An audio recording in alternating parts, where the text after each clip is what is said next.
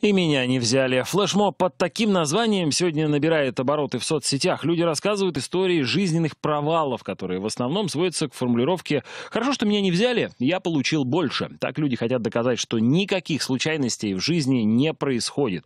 Все на пользу, даже если иногда так не кажется. Меня не взяли в пианистки. Между светлой стороной искусства и темной обмана людей при помощи рекламы я выбрала последнюю. Ни разу не жалею, а играю периодически все равно. Последний раз в Венеции месяц назад. Меня не взяли в лыжную секцию во втором классе, и я попал на плавание. А в начале 2000-х не взяли в копенгагенский офис Microsoft. Даже и не ответили. Оно и к лучшему. В девичестве меня не взяли работать на пару радиостанций, и я ужасаюсь от мысли, какой бы могла быть сейчас, если бы взяли.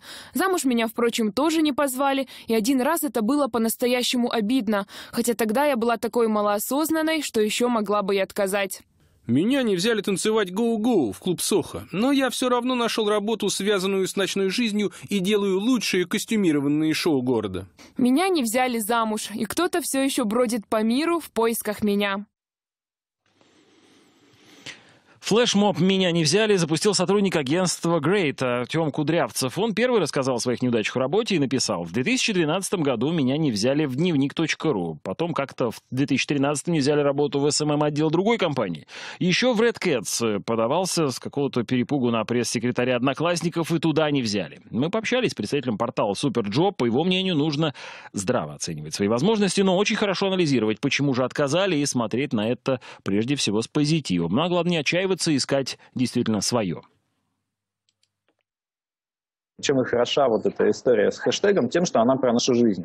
Хотя ведь это тоже неправильно, когда мы все время, будучи э, специалистом, будучи профессионалом, встаем вот в позицию «меня не взяли». Мы должны быть э, в той истории, когда мы нашли друг друга. Вот не вас оценивают постоянно, не вы постоянно состо... Э, находитесь в состоянии «надо доказать работодателю, возьми меня, пожалуйста». Нет, это должен быть диалог практически на равных позициях.